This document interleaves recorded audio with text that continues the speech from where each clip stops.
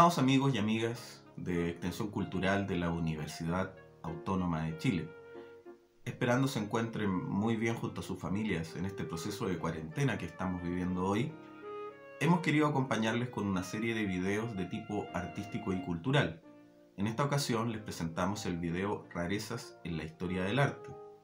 Este video trata de una serie de signos, códigos que se encuentran ocultos en las obras de arte y esperamos junto a ustedes develar estos misterios.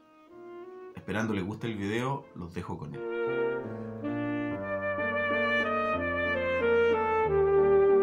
El Caravaggio. Aquí lo podemos apreciar en un autorretrato. Fue un artista provocador, no solo por ser uno de los primeros en romper con el renacimiento e iniciar el manierismo, utilizando colores de fuerte cromatismo, sino también por llevar una vida de amores furtivos y peleas que incluso le llevaron a abatirse a duelo. Su obra Baco, realizada en su juventud, ya visora un lenguaje directo en la representación con sugerencias fuera del artista clásico. Baco, que es el mismo Caravaggio retratado sin su característica barba, deja su reflejo en el copón que sostiene con la mano izquierda, un detalle que apenas es visible a simple vista. Su obra más madura devela su gusto por el tema mítico y el uso de modelos de gente común, el claro oscuro de profundos tonos le permitió hacer juegos de sombras. En su obra Peregrinos de Maús se aprecia una escena abundante y una curiosa canasta que está a punto de caer, o muy fuera de la mesa. Lo extraño es la sombra proyectada de un pez inexistente en la canasta, que simboliza a Jesús. El David, con la cabeza de Goliat, es una obra de un realismo muy directo, hasta esa fecha ningún artista había sido tan atrevido en ser tan literal en la interpretación de un hecho bíblico. Pero Caravaggio fue más allá, y el rostro de Goliat no es otro que el mismo Caravaggio.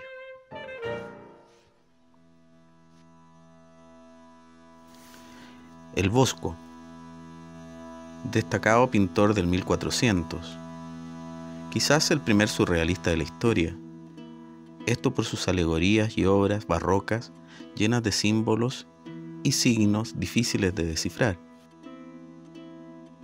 El tríptico del Jardín de las Delicias, aquí representado, hace alegoría de la obra de la Divina Comedia de Dante Alighieri, graficando el paraíso, el purgatorio y el infierno. Es este último el que apreciamos en detalle, al cual a la música se le da un carácter diabólico, por su tono festivo y lujurioso, pensamiento propio de la iglesia de la época. El Bosco resalta a los condenados en medio de instrumentos y demonios. Uno de los que purga sus pecados tiene grabada en sus nalgas una partitura musical, la que escuchamos en esta secuencia y que fue transcrita por la musicóloga norteamericana Amelia Henry.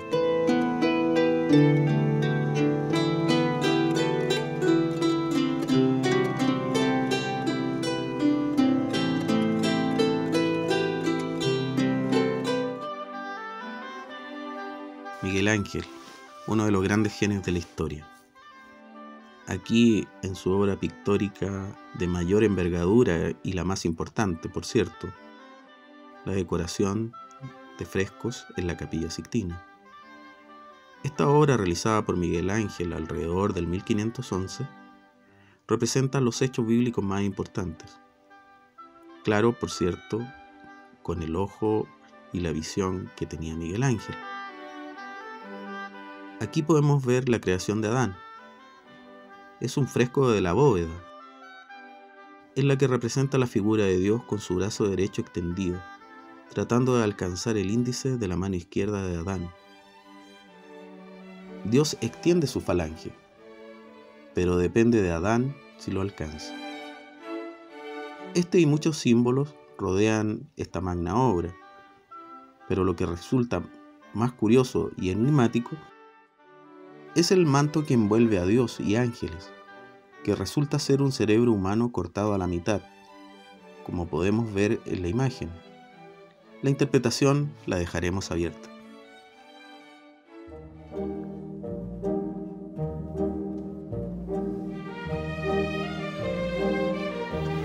Diego Velázquez, artista de la corte y el más importante del barroco español. Aquí lo vemos retratado junto a la familia de Felipe IV, en su obra más enigmática, Las Meninas, de la que se han hecho cientos de tratados y reinterpretaciones por destacados artistas, como Picasso, los que han buscado develar los misterios que llevaron a Velázquez a cambiar la visión del retrato clásico de las casas reales, ubicando a los supuestos retratados en el lugar de los espectadores, que somos nosotros, los que observamos. Velázquez y los personajes que lo rodean miran a los reyes, los que se reflejan en el espejo del fondo, del cual el artista pincel en mano realiza el retrato de Felipe IV y Mariana de Austria. La infanta Margarita es la figura central, junto a sus sirvientas, las meninas, las que dan nombre a la obra, más un bufón y una enana. Esta escena se ha dicho como variación a la interpretación oficial de la obra, que es lo que realmente está pintando Velázquez, y que los reyes solo aparecen por un costado, y por ello la sorpresa de los retratados. La verdad es que hay muchas posibilidades de interpretar, pero lo que sí está claro es que la primera obra de corte fotográfico que se realizó es esta. Capta un instante dejando de lado el concepto de retrato formal. Con una visión en 360 grados podremos imaginarnos la escena, cómo pudo haber sido, y en el que Velázquez nos quiso jugar la mejor de las bromas maestras.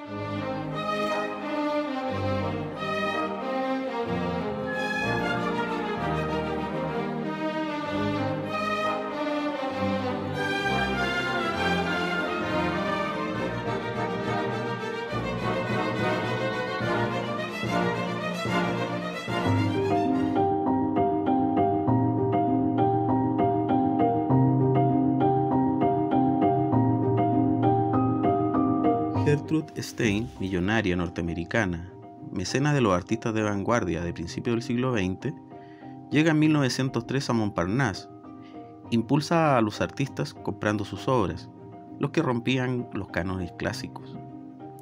Un joven virtuoso llamado Picasso llama su atención y le pide un retrato. Pablo salía de su periodo rosa y había comenzado a probar del arte africano, a entender a Matisse, lo cual le hace entrar en crisis, frente a un pedido que buscaba formalidad. La espera o sesiones duraron tres meses, en que las modificaciones se fueron sucediendo, pero de pronto se resolvieron de un jirón, rompiendo con todo lo hecho por Picasso hasta ese momento. Stein quedó horrorizada con el resultado, un retrato totalmente asimétrico y que como guinda tenía una cara con dos bocas apenas visibles.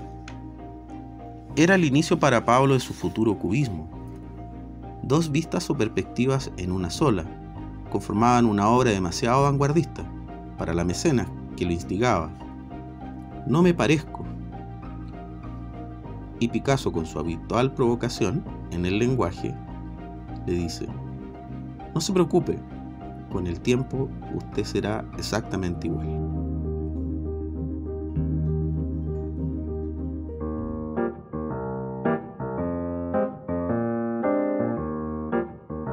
Grant Wood es un destacado pintor clásico norteamericano, quien en plena crisis económica de 1927 en Estados Unidos realizó esta obra gótico-americana que solo pretendía mostrar los valores tradicionales americanos, un granjero y su hija que afrontan la realidad con austeridad y trabajo duro.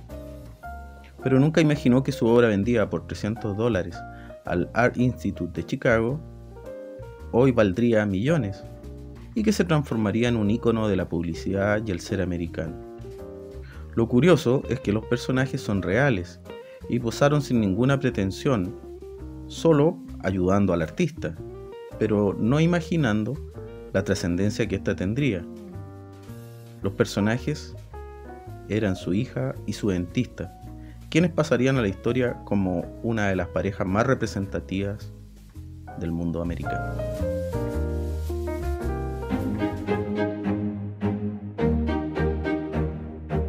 Pedro Lira es uno de los grandes maestros del arte en Chile. Neoclásico y romántico en el estilo, realizó la fundación de Santiago en el año 1888, con motivo de la Exposición Universal de París, donde obtuvo medalla de plata con esta obra. Este óleo de grandes dimensiones, 250 x 400 centímetros, está ubicado en el Museo Histórico Nacional. En él Lira retrata la fundación de Santiago del Nuevo Extremo por Pedro de Valdivia, desde el Cerro Huelén. Sus subalternos e indígenas yanaconas lo rodean.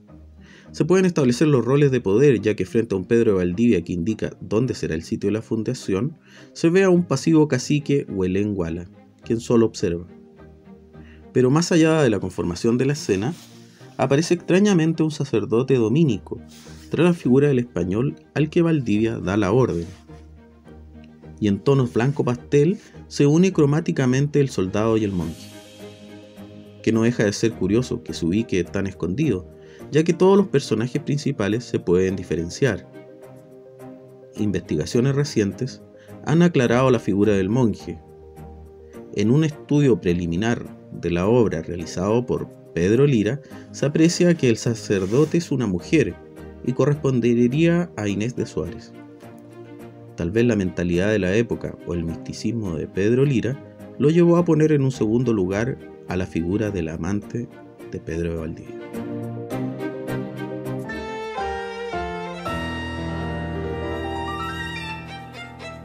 En la conocida casa de Pablo Neruda denominada La Chascona, y que se encuentra ubicada en la falda del Cerro San Cristóbal, existe una pintura del afamado muralista mexicano Diego Rivera, él la realizó en una visita a nuestro país el año 1953 en medio del Congreso Continental de la Cultura, visita poco conocida en Chile. Es un retrato de Matilde Urrutia, quien en ese momento era la amante de Neruda. Él estaba casado en ese momento con la artista Delia del Carril. Dentro de los muchos misterios que rondan esta obra hay que decir que no era conocido en México y no estaba en el catálogo mundial que se había hecho de su legado, donde la obra de Rivera se guarda como un tesoro histórico. No fue hasta 1997 cuando en una visita de Blanca Garduño, directora del Museo Casa Estudio de Diego Rivera Triacalo, la descubrió para su sorpresa en uno de los cuartos de la chascona. La obra en sí misma es enigmática, es un retrato de una mujer de dos cabezas, con un pelo arremolinado, la chascona lleva ese nombre por los cabellos de Matilde. Rivera le puso por nombre Rosario y se la regaló a Neruda, a quien le unía una gran amistad y por supuesto complicidad. Tanto así que si se agudiza la vista entre los cabellos marrones del retrato, se puede ver sutilmente el perfil de Pablo Neruda.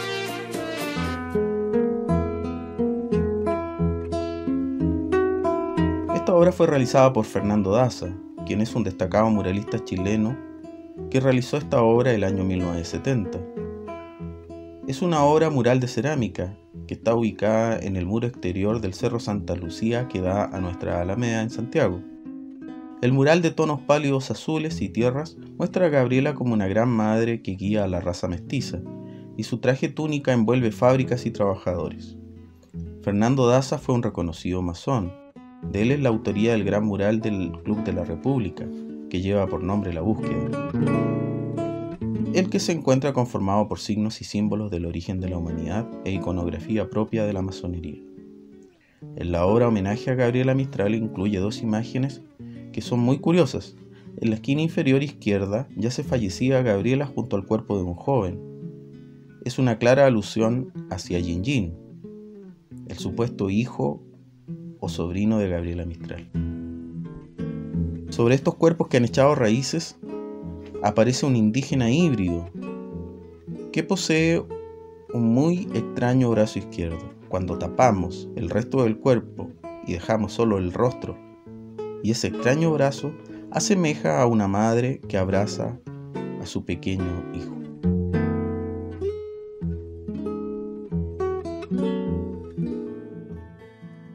Esperando que les haya entretenido el video de rarezas en la historia del arte y los motive a mirar con mayor detalle nuevas curiosidades y rarezas escondidas en las grandes obras maestras, nos despedimos desde Extensión Cultural de la Universidad Autónoma de Chile y muy pronto nos encontraremos en otro video.